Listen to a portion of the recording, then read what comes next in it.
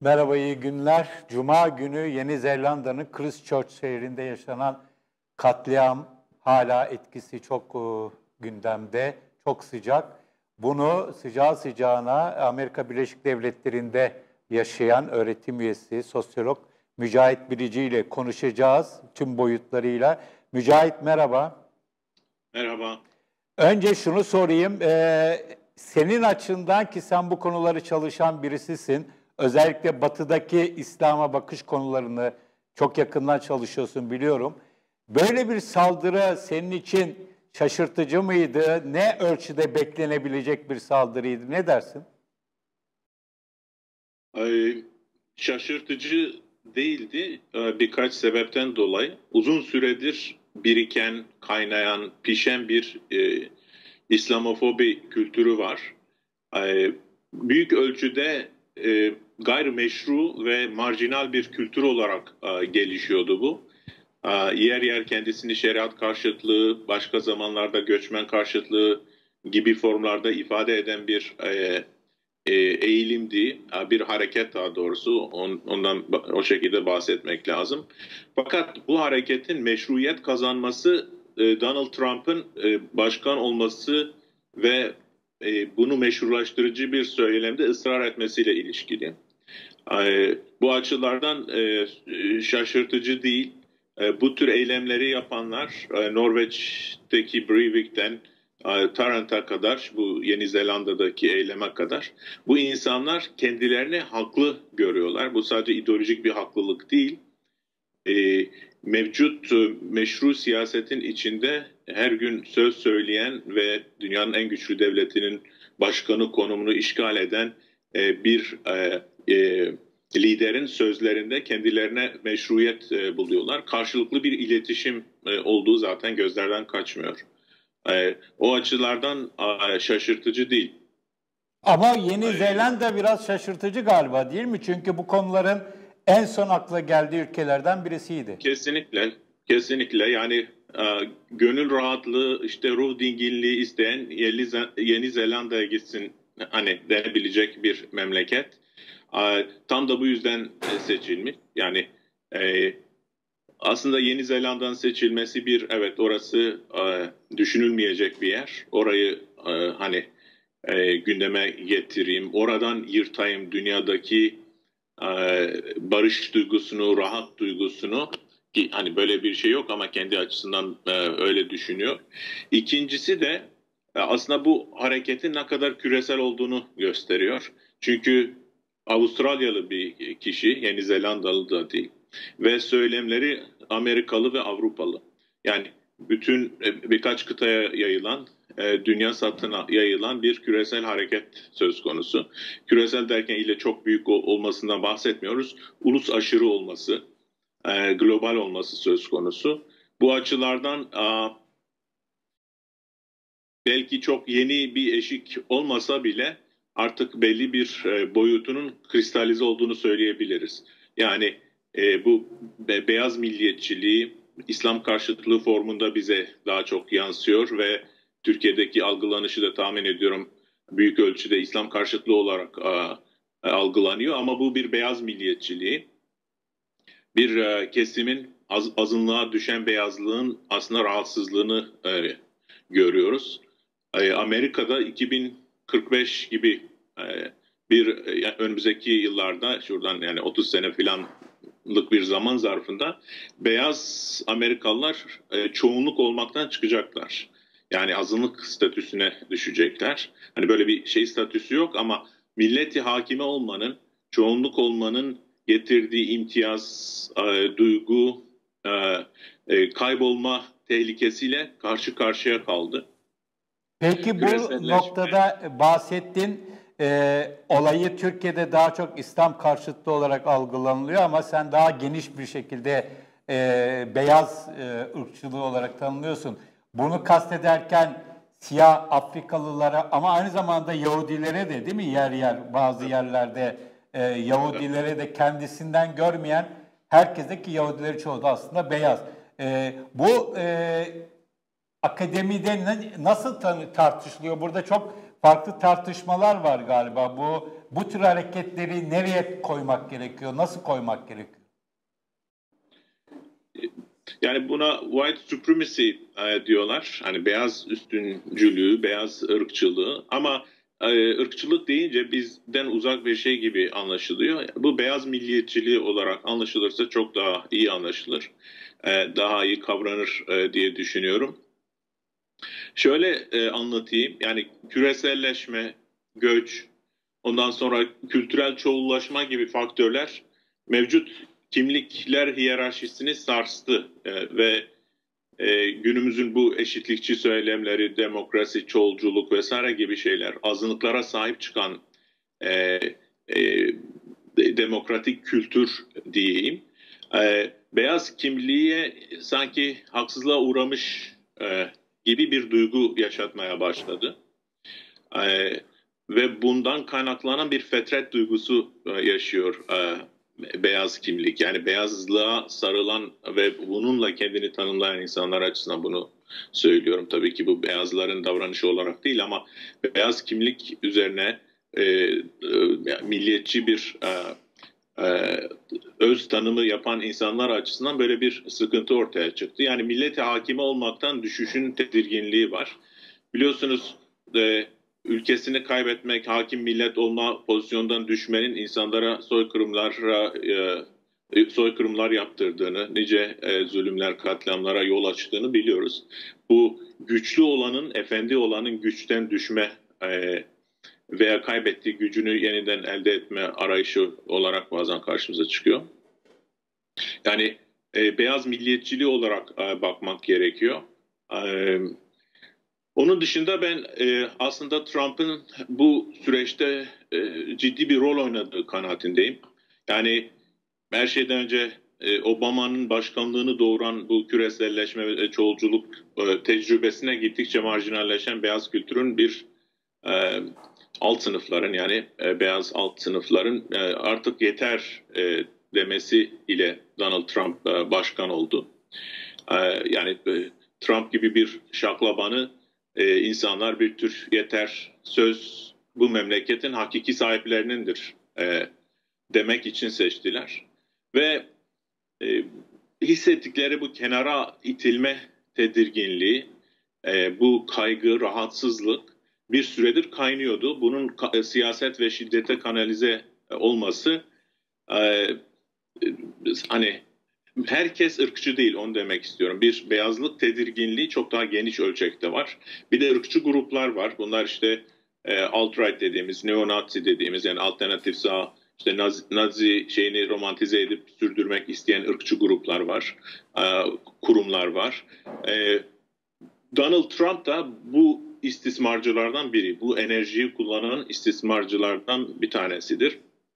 Mesela Zaten, Trump'ın şans e, olarak Katliamın ardından gösterdiği tepki, daha doğrusu göstermediği bir iki tweet atıp e, kurbanların yanında olduğunu söyledi ama ondan sonra yine bildiğimiz e, göçmen karşıtı vesaire tutumunu sergiledi. Şöyle bir basit bir soru soracağım. E, bu saldırı sırasında Obama Amerika'da başkan olsaydı nasıl bir tepki olurdu? Trump nasıl bir tepki verdi? Bu herhalde bayağı bir açıklar. E, e, elbette hatta Obama belki uç sayabiliriz fazla sol geliyor Amerikan damak tadı için. E, Bush, George Bush bile olsaydı ki oldu 11 Eylül olduğunda George Bush Washington DC'deki camiye koştu ve orada İslam barış dinidir dedi. Bunu demek Amerikan çok kültürcülüğünün işte demokratik adabının bir gereği aslında. Dolayısıyla Trump'ta gördüğümüz davranış çok e, kasti bir davranış, ısrarlı bir e, tercih yani. Hani rastgele bir durum değil. E, Obama olsaydı, George Bush olsaydı, herhangi konvansiyonel bir Amerikan başkanı olsaydı davranış itibariyle bunu şiddetle kınardı vesaire. En azından hani e, sözde bile olsa tür bir e, e, tepkiyi ortaya koyarlardı. Trump koymuyor, e, koymak istemiyor. İnsanlar sanabilir ki Trump e, dindar bir adam. E, halbuki Trump'ın şahıs olarak Hristiyanlıkla ilişkisi İslam'la ilişkisinden daha iyi değil. Yani dini imanı para ve şöhret olan bir karizmatik tüccarla e, karşı karşıyayız. Fakat e, sürüyü çok iyi tanıyor. E, vatan, millet, beka konularını e, gündemde tutuyor. Beka konusu Amerika'da çok e, önemli merkezi bir yer tutuyor. Bu duvar örmekten tutun işgal e, vurgularına e, yani ülkenin e, sınırlarının delik deşik olduğu, vatanın işte paymal olduğu, namusun e, ortadan kalktığı, yani bizim dile tercüme edersek. Çünkü Meksikalılara tecavüzcü dediği zaman e, birkaç şey e, söylüyor. Yani rastgele tanımadığınız birilerine tecavüz ediyor değil. Sizin ailenize, e, eşinize, e, ananıza tecavüz ediyorlar bu şeyler. Teröristler Müslümanlara ilişkin oluşturduğu bir takım e, imgeler var. Bunlar hep kasıtlı olarak bunları kullanıyor. Kendisi benim şahsi kanaatim. Peki yani kendini e, diğer e, tepkilere bakacak olursak mesela öncelikle Yeni Zelanda ve Başbakanının tepkisi hakkında şu ana kadar hep olumlu değerlendirmeler yapıldı. Gerçekten samimi, e, acıyı paylaşan, teröre e, kurbanının yanında e, duran e, bir çizgi izledi ve çok da anladığım kadarıyla takdir edildi. E, bir, sen bu konuda ne demek istersin ama onun ötesinde Batı dünyasının şu ana kadar verdiği tepki sence yeterli mi? Şöyle söyleyeyim yani e, Trump'ın tepkisini bir toparlayayım istersen. Yani bence Trump burada azmettirici konumunda görülmelidir. Bu tür terör saldırıları için ve gelecek de. E, bu bir. Yeni Zelanda e, Başbakanı'nın e, tepkisi bana şaşırtıcı değil. Batı dünyasının tepkisi bana şaşırtıcı değil. Yani bu insani yüzünü görüyoruz. Türkiye'de insanlar şaşırıyor veya belki tekbir getiriyorlar. Aa ne güzel Müslüman insanlar, Hristiyanlar camiye geldi işte belki İslam'la tanışacaklar vesaire gibi bir çocukça e, beklenti e, e, e, yüzeysel bir e, okuma bana göre. E, Batı demokrasileri bütün sömürgecilik geçmişine, e, bugünkü bütün milli çıkar siyasetlerine rağmen e, demokratik kültür olarak e, çoğulculuğu benimseme konusunda gayret gösteren e, bir konumda. E, Dolayısıyla Batı dünyasının tepkisi hani insani olarak e, dayanışma e, gösterme şeklinde cereyan etti. Daha önce de Amerika'daki camilere yönelik bir saldırı olduğunda insanlar gelip caminin etrafında halkalar oluşturuyor. Çiçekler bırakıyorlardı. Bu, bu tür tabii çok keskin bir katliam söz konusu olunca e, o tür tepkilerin olması çok normal. Bunu bunu bir e, İslam'a saldırı olarak okumak çok büyük bir yanlışlık olur kanaatindeyim. Dediğim gibi bu e, bir e, milliyetçi e, saldırı. E, yani tedirginlik hisseden, eski konumunu kaybeden, beyaz kimliğin, ırkçı kesiminin gerçekleştirdiği bir saldırı. Bu e, kişiler e, tıpkı bizim e, işit e, gibi örneklerde gördüğümüz gibi e, küresel ölçekte dolaşımda olan, dolaşan bir takım söylemlere e, bu örnekte e, işte beyazlar e, azınlık hale geliyor. Yok edilme kar, e, ile karşı karşıyayız. Yani beyazların soykırımı veya soykırım şeklinde olmasa bile soy kurumu e, yani kurumayla karşı karşıyayız gibi bir vurgu var. O yüzden de bu manifestosunun başlığı veya e, Fransa'daki kamu diye e, bir e, yine o çevrelerde popüler bir yazarın işte büyük e, e, Great Replacement yani göçmen işgali, Avrubistan, büyük yerine geçme, dağdan gelenin bağdakini kovma söylemleri bu tür bir e, e, e, altyapıyı e, besliyor. E, dolayısıyla küresel olarak e, beslenen, değişik kaynaklardan beslenen bir içinde İslam karşıtlığı da var. Yani özel olarak İslam'la savaşmak isteyen, savaştığını düşünen, bu istikamette çalışan e, kişi ve kurumların da olduğu ama ondan daha büyük bir e, e, kültürel havzada yetişen bir e, e, e, kültür var, bir veya saldırganlık e, e, biçimi. E, yani buna çok rahat e, onların e, cihatçılığı diyebiliriz. Çünkü mantalite olarak işitten çok farkları yok. E, propaganda çok ön planda, sosyal medya üzerinde radikalleşmek, e, bireylerin buna katılımı, devletsiz olması yani mesela tek bir müstakil devlet e, şey yapamıyoruz, e, gösteremiyoruz. İşte bu İslam düşmanlığının veya Müslüman karşıtlığının veya beyaz ırkçılığın arkasında şu devlet var diyebileceğimiz spesifik bir e, kurum yok. Çünkü e, ulus aşırı, uluslararası bir e, bir network'ün e, e, e, ürettiği bir e, durum e, olduğunu görüyoruz. Bu Peki, beyaz e, ırkın yerine başkalarının geçtiği yani göçmenler e, pardon. pardon. İslam dünyası da genel olarak bu senin söylediğinin dışında tabii ki bir doğrudan İslam'a saldırı olarak genel olarak algılandı. Şu ana kadar çok da fazla belirgin bir tepki görmüyoruz şaşkınlık ötesinde ve nefret ve öfke ötesinde. Ee, İslam dünyası böyle bir dünya var mı yok mu tartışmasını bir kenara bırakarak e, evet. İslam dünyası böyle bir olayda ne yapabilir? Müslümanlar, dünyanın Müslümanları, e, tek tek sivil toplumlar ya da devletler ya da e, yapabilecekleri ne vardır sence? Yani e, e, şiddeti e, harlayacak şeylerden sakınmak gerekiyor.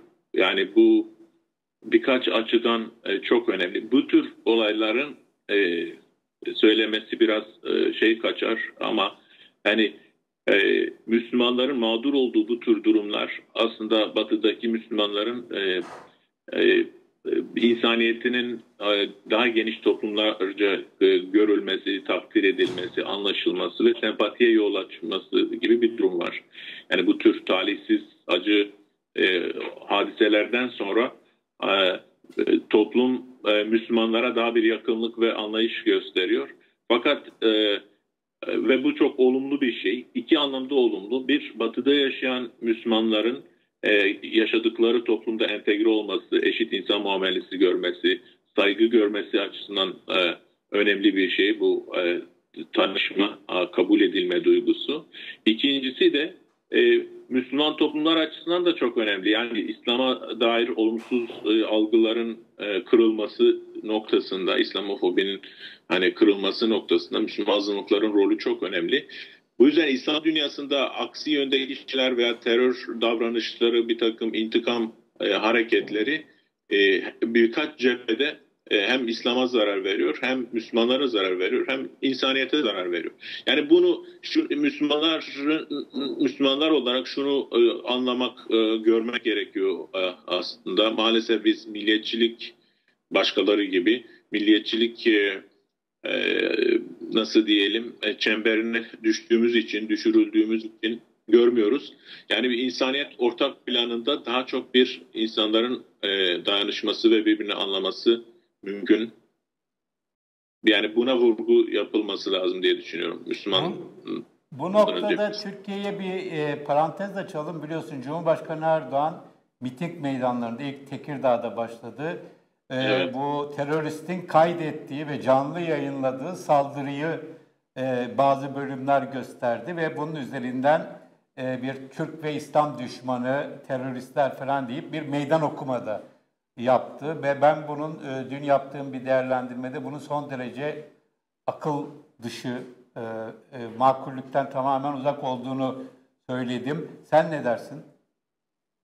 Kesinlikle son derece talihsiz e, yanlış, zararlı yani son derece hazır menfaat için, e, siyasi çıkar için e, Müslümanların daha büyük ölçekteki selametini, iyiliğini, bütün insanların iyiliğini tehlikeye atan bir davranış. Kesinlikle yanlış bir şey. Yani şimdi e, şunu da söylemek lazım maalesef milliyetçilikler birbirini e, besliyor ve ırkçı davranışlar e, ırkçı davranışları tetikliyor ve bundan e, siyasetçiler her zaman için nemalanıyorlar. E, bu yani Trump ve Trump'ı seven e, devlet yöneticileri arasındaki dayanışma ve karşılıklı muhabbetin e, e, bir sadece karizmatik liderler arası e, sevgi ve yakınlık muhabbet değil, aynı zamanda bir çıkar e, ve sırt sıvazlama ilişkisi olduğunu da e, söyleyebiliriz. E, yani son derece yanlış buluyorum. Bu bu tür şiddeti e, vurgulama ve ön plana çıkarma çabalarını. Bu konularda Müslüman e, devletler e, ilgili ülkedeki yani oradaki Müslüman toplumun tercih ve tavsiyelerini dikkate alarak tepki göstermeleri gerekir. Yoksa çok küçük bir siyasi getiri için başka bir memlekette, Pakistan'da diyelim, yok e, Türkiye'de ve herhangi bir Müslüman memlekette e, milyonlarca Müslümanın, Hollanda'daki Müslümanların veya Amerika'daki Müslümanların selameti, iyiliği tehlikeye atılabiliniyor. Bu son derece yanlış bir şeydir. İslam herhangi bir ülkenin malı, mülkü, tapulu arazisi değil. Ee, hani bu tür davranışları İslami açıdan da eleştirmek e, mümkün ve gerekir. Ama insani açıdan e, da yanlış ve stratejik açıdan da yanlış. Yani eğer Müslümanları çok seviyor ve Müslümanların iyiliğini istiyorsa e, Müslüman siyasetçiler e, iç siyasette yaptıkları çirkinlikleri azınlık Müslümanların dünyasına bulaştırmamaları, onları bir uzantı, bir nüfuz unsuru, onların acılarından işte menfaat devşirilebilecek bir kaynak gibi görmemeleri gerekir. Peki e, buradan e, şeye gidecek olursak e, bunun devamı nasıl gelecek? Ne düşünüyorsun? Yani e, ben açıkçası çok endişeliyim ve hatta Huntington'ın o medeniyetler savaşı diye yıllar önce söylediği ve çok evet. tartışılan kavramının e, sanki e, bu sefer e, çok daha fazla gündemde olduğu görüşlerine de bayağı yaklaşmaya başladım. Yani bu gidişatı çevirebilecek güçlü aktörler yok sanki. Ne dersin? Ee, şöyle şu an olumsuz ve ümitsiz bir ortam olduğu kesin. Bu hani popüler otoriterliğin e, moda olmasıyla da ilişkili. Yani milliyetçilik şu anda yükselişte. Dediğim gibi birikmiş bir küreselleşme, göçmen, e, insan fikir ve kültür sirkülasyonunun yol açtığı bir bir tür bulantı yaşanıyor. Kimlerde yaşanıyor bu? Yerleşik olan ve daha önce imtiyazlı konumda olan e, kimlikler nezdinde bu bir e, rahatsızlık e, e, üretiyor. E, insanlar diyor ki yani biz cefasını biz çektik. Bunlar gelip sefasını sürüyorlar. Medeniyet kavramı ön plana çıktı. Huntington e, madem e, zikrettin. E, medeniyet kavramının ön plana çıkması da şu açıdan ilginç. Medeniyet bence e, küresel bir milliyetçilik formu olarak e, sirkülasyona girdi. Türkiye'de de bu böyle. Bu Amerika'daki beyaz üstünlükçü fikirlerde de bunu görüyoruz. Medeniyet vurgusunda artık hani küçük bir ülkenin e, vatanseverliğini yapmıyor e, adam. Daha büyük bir davanın e, işte kahraman neferi gibi hareket ediyor. İşte ümmeti savunuyor yahut beyaz beyazlığı savunuyor. Daha doğrusu Batı medeniyetini. Bakın hem Breivik hem Tarrant ikisinde de bu adamlar Norveç'in veya Avustralya'nın işte menfaatleri için, milli şeyi için hareket ediyorum demiyorlar. Ee, Avrupa medeniyetinden bahsediyorlar, Batı kültüründen bahsediyorlar. Yani medeniyet dili kullanıyorlar ve küresel bir ölçekten bahsediyorlar. Bunu da bunu da küreselleşmeye karşı ortaya çıkan yeni bir milliyetçilik tipi olarak e, anlamak lazım. Yani e, teritoryal e, ulus devletten ziyade e, kültürel e, bir medeniyet programı. Peki Bu burada çok net bir şekilde. Ee, evet. Burada şöyle bir mesele de var tabii. Bu malum Irak, önce Irak ardından Suriye'de IŞİD'e indirilen büyük darbeler ve onun teritoryal olarak hakimiyetinin sonlandırılmasıyla beraber en çok konuşulan husus özellikle Batı'da biliyorsun medyada da çok var. Ee, buradaki insanlar geri dönerse dönüyorlar ve savaşın tekrar yoğun bir şekilde Batı'ya taşınacağı yolunda bir kaygı ve beklenti vardı. Tam da bunun üzerine Batı'da yani Yeni Zelanda'da olsa Batı olarak kabul etmek gerekiyor. Tabii. Böyle büyük bir saldırı oldu. Bunların böyle üst üste gelmiş olması e, çok e, daha riskli bir olay değil mi? E, riskli yani bu bence e, hani e, yoğun e, risk oranının arttığı bir döneme girdiğimiz kesin. Yani Allah korusun hani geçen gün dün müydü Hollanda'da bir şeyler oldu. Ee, insanlar e, epey e, endişe etti. Yani o tür bir risk e, şu an var. Yani Müslümanlar arasında muhakemesi zayıf veya ırkçı insanlar da bir şeyler yapabilir. Yani bu karşılıklı radikalizasyona yol açan ve çatışmadan beslenen insanlar e, var ve bugün e, yani atmosfer maalesef hani çok elverişli bir e, atmosfer. O açıdan e, yani mesela IŞİD'le bu beyaz ırkçılığını karşılaştırdığınız zaman hani çok ilginç benzerlikler var. Dediğim gibi medeniyet vurgusundan tutun işte küresel bir hilafet vurgusuna kadar e, yaptıkları e, cinayetleri e, e televize edilene kadar e, pro, silahı propagandaya dönüştürmelerine bıçak veya makinalı tüfek fark etmiyor. E, de, tarihten bahsetmeleri, bir derinlik atfetmeleri işte e, hilafetin ilgasından tutun bilmem Avusturya'nın e, kapılarına e, dayanılmasına kadar. Yani bir e, medeniyet ölçeğinde e, bir milliyetçilik kurgulandığı zaman bunun da ilgili tarihi tarihçesi ve e, söylemleri de buna eşlik ediyor. Peki Şimdi, buradan e, yani evet. kötümser bir şekilde mi sonlandırıyoruz? Yok, şöyle söyleyeyim ben e, yani e, kötümser değil. Ben şu tespiti de yapmak isterim bence. Yani bu e, önemli bir husus. Bence her iki durumda da yani bu, bu tür ırkçı şeylere niçin e, yol açıldı? Kötülemek ve şey yapmak kolay. Buna işit için de söylüyorum. Bu insanları lanetlemek ve hasta e, görmek kolay. Bence şöyle bir sorun yaşanıyor. İnsan haysiyeti yani insan onuru bu uzmanlık ve akıl çağında artık uzman kurumlar ve e, e, e, objektif bilgi karşısında e, bir çaresizlik hissediyor. Yani önemsizleşmiş, anlamsızlaşmış Avrupa'daki göçmen bazı yani e, genç e, Müslümanların radikalleşen Müslüman gençlerin hissettiği duyguya benzer bir duygu yaşanıyor. Yani dünya öyle bir şekil alıyor ki öyle bir akış var ki insanlar dışlanmış bazı kişilere saygı duyulmuyor. Varlıkları tanınmıyor, e, gerekli hürmet gösterilmiyor duygusu insanlarda bir patlamaya yol açıyor. İnsan haysiyetinin e, e, her zaman gözetilmesi gerekiyor. Bütün devletler ve çoğunluklar ve toplumlar açısından yani hiç kimsenin kenarda bırakılmaması gerekiyor. Benim şahsi kanaatim beyaz milliyetçinin arkasında da bu tür bir durum var. Yani bunun post-truth çağıyla da çok yakın ilgisi var.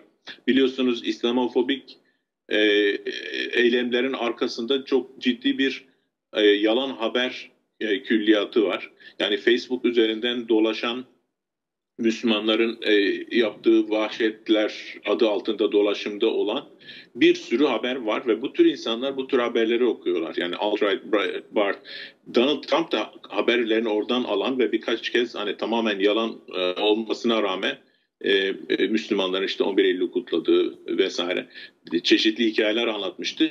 Şimdi bu e, yalan haber e, insanların şeyden e, ortak iyiden, ortak konuşma ve tartışmadan yani kamusal alan çöküşü söz konusu.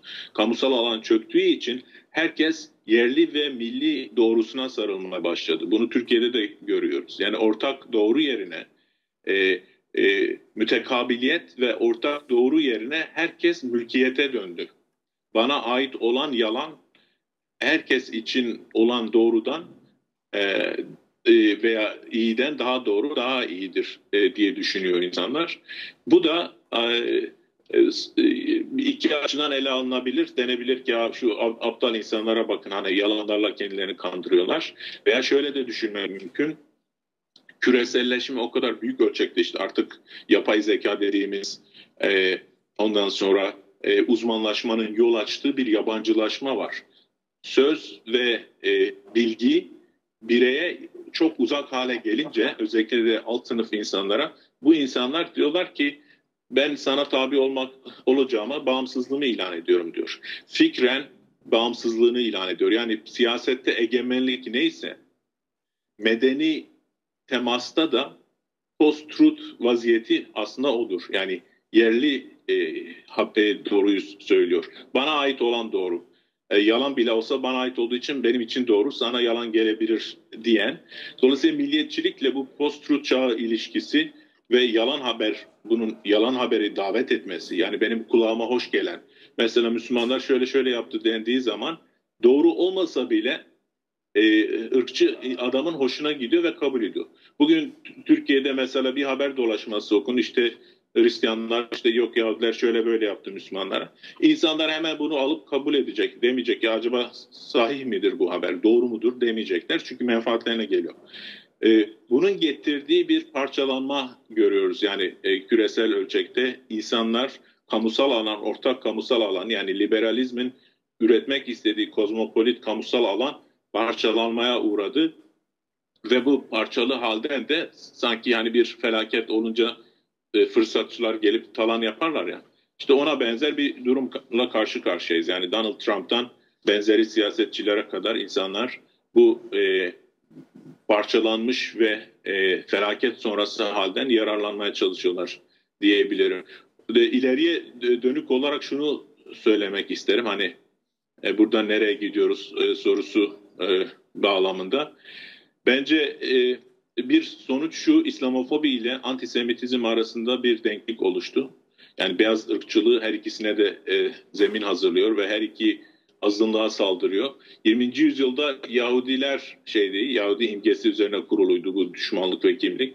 21. yüzyılda Müslüman e, kimliği bunu yerini aldı. Bakın e, Türkiye'de Yahudiler bunu yapıyor işte tetikliyor diyen e, zihniyet var. İşte bu beyaz ırkçıları da Müslümanları Amerika'ya işte Avrupa'ya Yahudiler sokuyor diyor. Yani Soros gibi insanlar e, sponsor oluyorlar veya işte özgürlükçü fikirlerle e, işte çok kültürlülük gibi kozmopolit fikirlerle bizim toplumlarımızı zayıflatmak, çürütmek, bizim ırkı safiyetimizi bozmak istiyor diyorlar. E, bu, bu bir açıdan önemli. Bence İslamofobi ile antisemitizm artık birlikte ele alınması gereken e, olgular olarak karşımıza çıkıyor. Amerika açısından e, şu notu düşebilirim. Müslüman kökenli terörizm ile e, e, dahili beyaz ırkçısı terörizm arasında denklik oluşuyor. Bugüne kadar Müslümanların yaptığı veya Müslüman bireylerin yaptığı en küçük e, terör davranışı e, en küçük bir habbe kubbe yapılarak sunulurdu ve beyaz e, ırkçıların yaptığı suçlar büyük terör eylemlerine bile terör denemiyor suç deniyor. Çünkü terör olması için haricilik atfedilmesi gerekiyor bir şeye. Bu konuda da Amerikan kamuoyu bence bir şeye geldi. Bu son olayla birlikte e, orada da bir denklik oluşacak. Ben Amerika'daki Müslümanların e, önümüzdeki dönemde silah edinme e, e, temayülüne daha bir gireceğini düşünüyorum. Yani anayasal bir hak olan ve hakiki Amerikalı olmanın bir nişanesi sayılan silah sahipliği Müslümanlar arasında yaygınlaşacak e, diye düşünüyorum. E, bu paradoksal bir şekilde Müslümanların daha e, Müslümanların yurttaşlığını pekiştiren bir şey olacak. İstersen burada noktayı koyalım Mücahit. Evet gerçekten zor bir döneme e, giriyor dünya. Zaten zor bir dönemdeydi. Daha da zorlaşan ve karşılıklı birbirini besleyen aşırılıklar ve e, özellikle de beyaz ırkçı aşırılığın başta Amerika Birleşik Devletleri olmak üzere birçok Batı ülkesinde çok güçlü destekçilerinin, teşvikçilerinin olması gibi bir durumla karşı karşıyayız. Evet, Mücahit Bilici ile e, Yeni Zelanda'daki katliamı konuştuk. Kendisine çok teşekkürler.